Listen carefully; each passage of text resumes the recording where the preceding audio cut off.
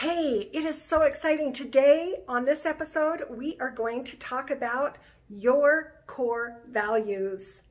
Thank you for being here with I Can with LoriAnn because you can with LoriAnn. We are going to do brain boosting hacks that are going to go into the backside of your brain, figure out your core values, and let them come out your mouth. Yeah? You think that's possible? well, I've done it before and I've done it with so many people over the last couple of years that I want to share it with you now. This is exciting and it's so much fun. So get your pen and paper out and let's get started. When I get to the part where I say, pause this recording, then stop it so that you can do the work that I'm asking you to do. And within a matter of 15 minutes or less, you are going to have your core values. Okay, are you excited? Let's do this. So at the top of your paper, I want you to write core values, and then I want you to make a list of 8 to 10 people. So you're going to go down, you're going to start making a list of 8 to 10 people. Okay? On this, I'm going to give you some ideas of people. So you can do mentors, you can do church leaders, you can do family, friends, teachers, coaches, authors, sports figures, actors, political leaders, past and present, um, your church leaders, community leaders, activists. They don't have to be alive. Uh, it can be any of these people that have impressed you in a certain way. It could be people that influenced you when you were very young or people that influenced you just today. Maybe you read a book and you really got impressed with the way this author is speaking to you and speaking to your heart and your soul. These are the people that you want to make a list of, that you respect and you admire. So pause this video right now, or this recording, and list eight to 10 people that you admire or respect.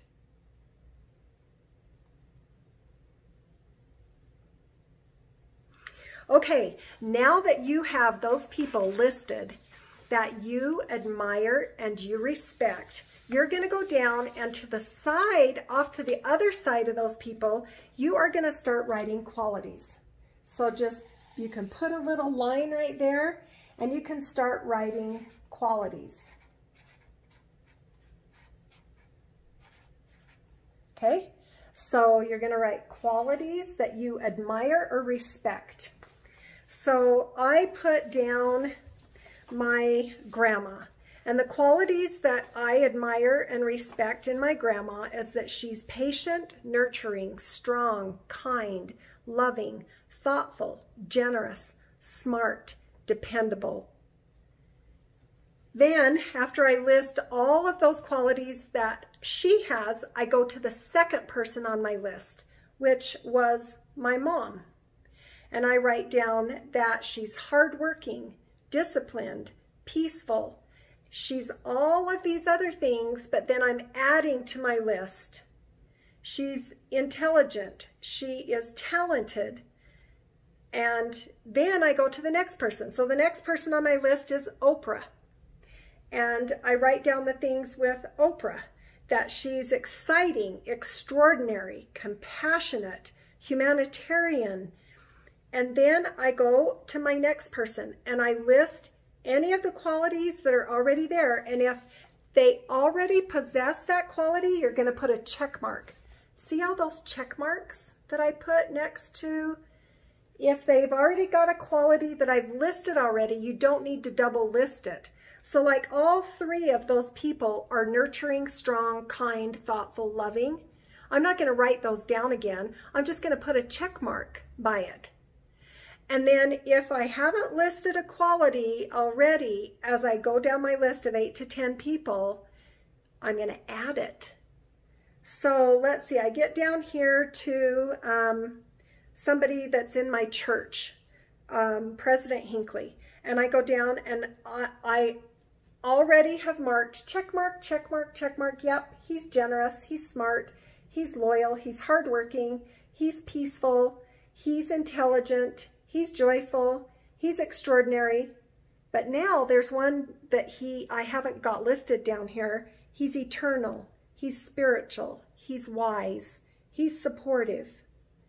Okay, and then I get down to my dad, who's at the bottom, and I make some check marks of my up here because he's nurturing, he's strong, kind, smart, dependable, intelligent. Um, and then I write hilarious because my dad was hilarious. he was fun. Um, he was energetic. He was determined.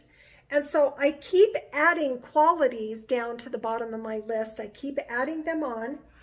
And then when I get done with all eight to 10 people, I've got this massive list of all of these qualities. So I want you to pause the recording right now and I want you to list all those qualities. If they are all nurturing, you're going to have 10 check marks next to nurturing. If they are all loving, you're going to have 10 check marks next to loving. But you're going to list all those qualities and then you're going to put the check marks. So pause the recording right now and do that step. Okay, so now this is what your paper should look like with those people listed out there, the qualities, and then check marks. Now what you're going to do is you're going to go back on the next page, let me put this paper down. Now you're going to take, because you've listed your you've listed your people all over here. Now you've listed your loving, kind, generous, um, loyal, dependable. Okay, you've listed all these and you've got check marks next to each one you know, however many check marks right there. So now you're going to turn the page over and you are going to write down the statement, I am. Okay? Then you're going to go back to those qualities. You're going to see the ones that you have the very most check marks for.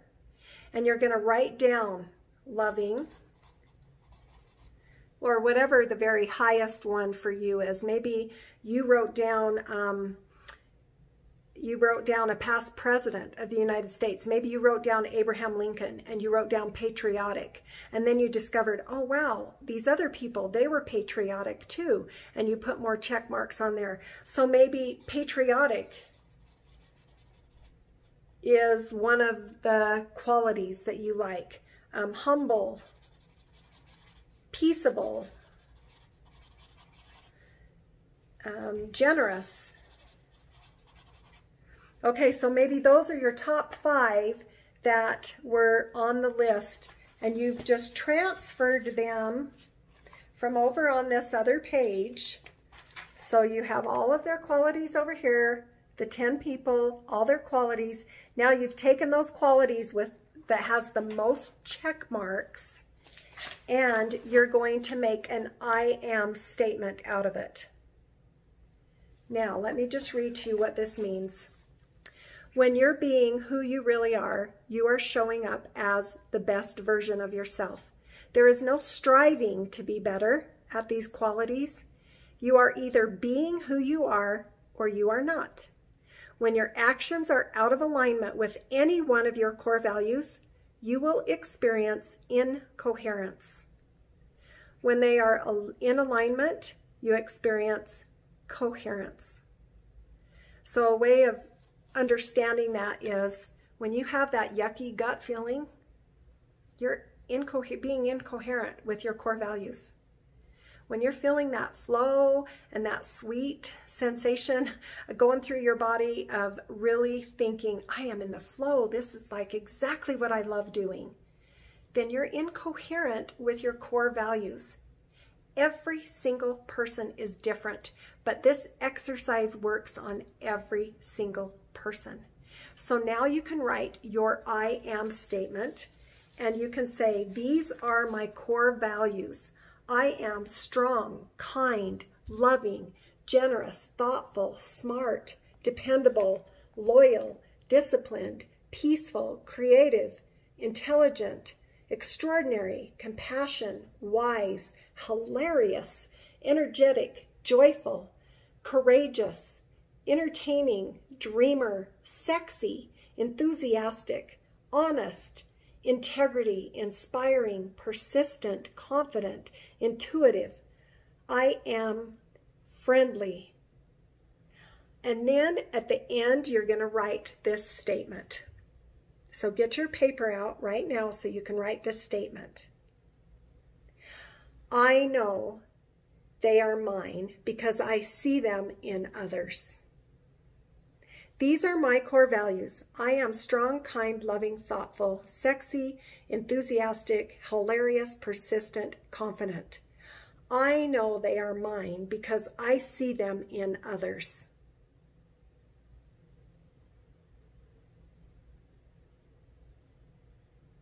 Write that whole complete sentence on the next page. These are my core values. I am, and then list all those values that you just discovered, every one of them that you want to write down. You don't just have to have five. You can write any of these down. If you had a list of 20, write 20 of them down if you want. If you only had a list of five, write down five. And then at the end, you write the statement. I know they are mine because I see them in others. I know they are mine because I see them in others. Then you keep this paper really close wherever you are. You can type it out on your um, and make it your screenshot for your phone or put it in a Word document so you can pull it up and you can read it. Whenever you get stuck, you go back to that or you're you start having these thing funny things go on in your mind where your mind is talking to you and telling you that you're dumb or stupid or you don't matter or this doesn't matter anyway, you're not enough, everybody else is better than you. Those are false statements. They are not true. Those thoughts are trying to kill your creativity. And we want you to have your core values alive and energetic and flowing through every part of your body so that when you get stuck and those things start coming to you, you read your statement, your core value statement. These are my core values. I am generous, smart, dependable, loyal, disciplined, peaceful, creative, intelligent, extraordinary, friendly, persistent, confident. I know they are mine because I see them in others. Congratulations for completing your core value course of brain hacks that we've gone through the back of your brain and now we've been able to get it to come out through your mouth and all of your whole being will feel this and resonate with this every time you need to read it again. And if there's a time you want to add a core value on there, do it. It's not set in stone, but this is the coolest way to do a brain hack to get it out of your brain and onto paper and you reading it every day. And if you want a little bonus tip, do you want a little bonus tip? Okay, so here's a really cool little bonus tip. For those of you that don't want the bonus tip, you can just stop the recording and move on to your day. But those of you that want the bonus tip, here it is. So let me tell you my secret. I take my core value and I read it into my phone so it's in my voice and I play Baroque music in the background. So I turn Baroque music onto my computer, let it play Baroque music, B-A-R-O-Q-U-E, Baroque music, not broken music, Baroque music. You play that on your computer, you get your phone, and you record yourself reading your core value statement. Then you play that every day. Every day you play that. It's less than like five minutes that you play your core value statement. Your brain hears it from you and it believes that it is the truth because you've gone through the work to do this. So I want to hear from you in the comments if this was powerful for you today, if this was something that worked for you. And for those of you that have done it and gone through the entire exercise and played it with the music, I want to know how it has impacted you. And you can share with me at LoriAnn, LoriAnn at loriannegarner.com. I also have a website that's called Yes You Can with LoriAnn. My name is L O R I A N N. Yes You Can with LoriAnn. And, or you can send me an email at LoriAnn at loriannegarner.com. so LoriAnn at loriannegarner.com. Okay, you guys have an awesome day, and I am excited for your core values. I'm excited for you to be living within your core values, impacting the world and making a difference in your life and those around you. Have an excellent day. Bye.